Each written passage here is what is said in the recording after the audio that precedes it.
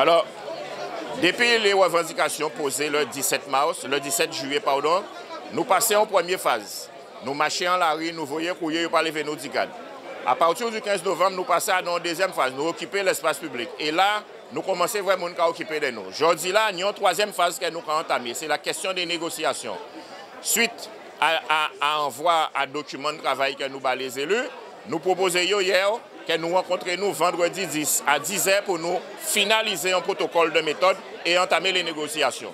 Et donc, nous avons attendu une réponse à eux. Et donc, aujourd'hui là, nous avons dit que nous plus que jamais mobilisés dans les entreprises, dans les cliniques, dans les hôpitaux, à les pompiers, dans le médico-social. Et également, aujourd'hui là, nous avons mis toute façon nous à dans négociation là pour nous aboutir.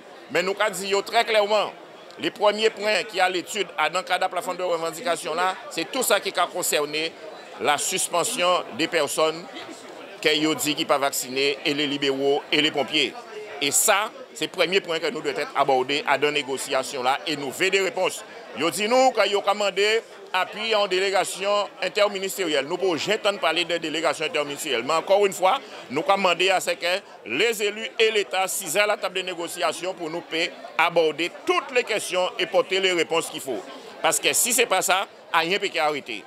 Gros bala peut arrêter, grève peut arrêter, mobilisation peut arrêter, trouble à l'ordre public peut arrêter. Il faut mettre ça en tête à eux.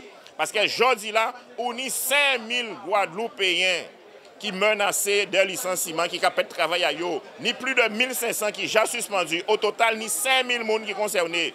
Et en plus, ni gens dans l'hôtellerie qui sont mieux pas sanitaire, ni gens au niveau des collectivités qui sont mieux pas sanitaire. Donc ça veut dire que nous ni peut-être entre 5, 6, 7, 8 000 personnes qui concernés, qui aujourd'hui là, qui ont dit non à, l'obligation vaccinale et qui ont risqué de perdre travail à eux. Nous pouvons accepter ça. Là, dans le pays, on est 80% des gens qui ne sont pas vaccinés. Faut autant de Il faut aussi à l'entrée pour parler avec eux, pour nous trouver ce qu'il a fait. Et nous faisons conseiller pas attendre, il imposer. Aujourd'hui, là, imposition à eux, qui amène nous en catastrophe sanitaire. Nous tout temps les différents témoignages qui fait là, notamment un beau qui suicidé parce qu'il pas tenu soin en l'hôpital, en l'hôpital aux abîmes Providence. Même c'est ça qui est arrivé. Des centaines et des centaines de Guadeloupéens, de par fermeture à cabinet à médecin, qui n'ont pas ni accès aux soins. Des milliers de Guadeloupéens qui n'ont pas ni accès aux soins parce que aujourd'hui, là, dans toutes les cliniques, tous les hôpitaux, ils ont fermé services, ils ont fermé lits parce qu'il n'y a pas suffisamment de monde qui travaille. Et ça, il faut y autant ça.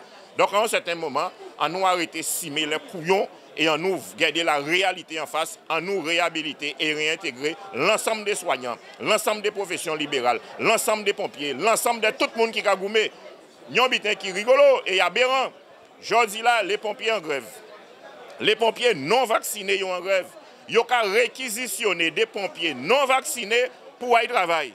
Manoir été fait chez monde. Ils ont réquisitionné des agents hospitaliers non vaccinés pour faire le travail. Mais non, manoir été fait chez nous. Donc c'est cinéma. Eh bien, si ils sont capables de travailler sous réquisition, eh bien, ils sont capables de travailler, les pas de réquisition, réintégrer et finir avec ça.